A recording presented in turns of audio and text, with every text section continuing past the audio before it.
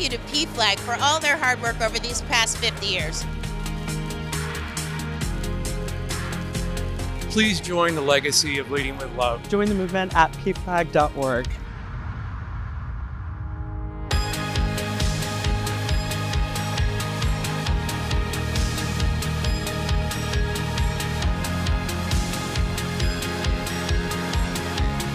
appreciate PFLAG for working to create a world where my queer friends and family are safe and loved and supported in the way they deserve to be.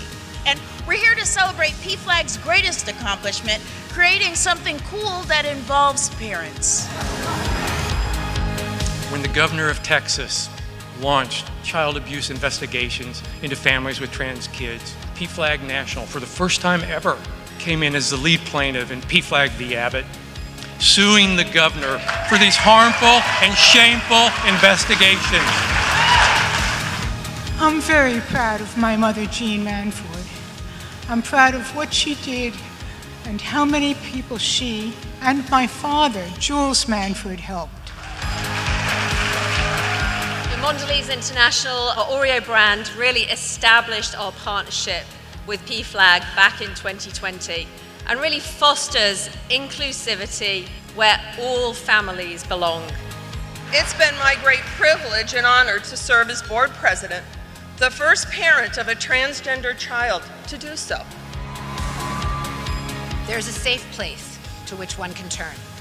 It's a place that's welcoming, supportive, comforting, and where the people are always leading with love. It's a place called PFLAG. When Sperry approached us at PFLAG National and said that they wanted to create a partnership, I saw my greatest loves, workplace and inclusion and shoes, coming together. Well, it's PFLAG's role to lead with love. It is our role as a partner to listen and learn with love. I'm a mom, fiercely proud of my queer child. I always tell my mom, you have PFLAG because of me. You're welcome.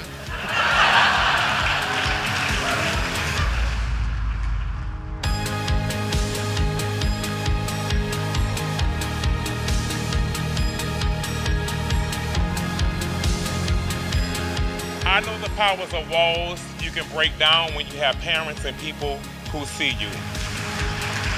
I remember that moment when I told my mum, and I'd never felt an embrace quite like a parent truly seeing me and accepting me for the very first time. But it's with organizations like PFLAG that create the opportunities to have friends and family come together and share experiences.